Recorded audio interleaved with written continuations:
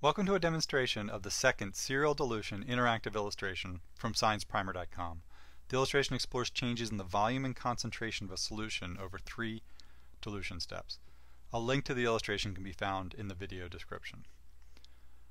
Prior to running, the illustration needs to be initialized with the Set Reset button. Once initialized, the main window shows four empty 10 milliliter cylinders. Volume is shown to the left of the first cylinder in 1 mil increments. At the top of the main window is a slider and a pull down menu that allow the initial concentration to be varied from 1 to 10 molar, millimolar, normal, or grams per milliliter. Changes in these values take effect when the Set Reset button is clicked again or when the first container is filled as described below. As each cylinder is filled, the volume and concentration of the solution is shown in the gray bars across the top.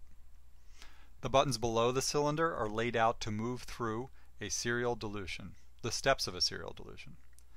The pull down menu at the bottom can be used to select between three different dilution factors. The initial setting is for a 1 to 10 or 10x dilution. The other options are a 1 to 5 or a 1 to 2. Order matters. Each button is meant to be clicked at a specific step in the process. The first step is to fill the first cylinder with the initial solution using the Fill 1 button. In this case, the first container is filled with, a with 10 mils of a 10 molar solution. The first dilution is performed in two steps. First, an aliquot of the first solution is transferred from the first container to the second. The amount transferred will depend upon the dilution factor. For a 10x dilution, 1 mil will be moved, which is one tenth of the volume of the second cylinder. For a 5x dilution, 1 fifth or 2 mils will be moved. For the 2x dilution, one half of the total volume, or 5 mils, will be moved. After the first transfer, the volume and concentration of the second container is shown at the top. Notice that the volume of the first container is reduced by the same amount. At this point, the concentration of the solutions in both containers is the same. To finish the first dilution in the series, the second container needs to be filled using the Fill 2 button.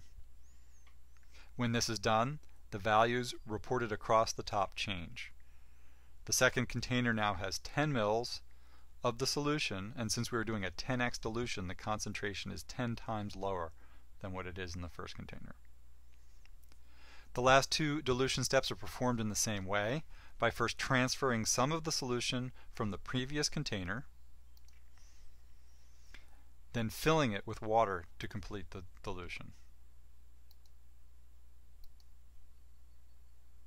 The final button at the bottom allows you to empty the last filled cylinder at any time. This allows you to step backward through a dilution series the way you would in a lab. Diluted solutions cannot be reconcentrated, but as long as there is enough material left from previous dilution steps, each solution can be dumped and remade. If there's not enough material in the desired dilution step,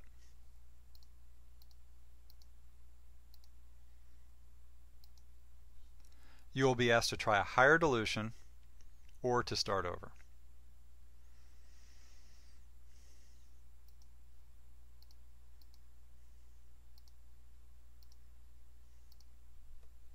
This completes the demonstration. Thank you for watching and enjoy the illustration.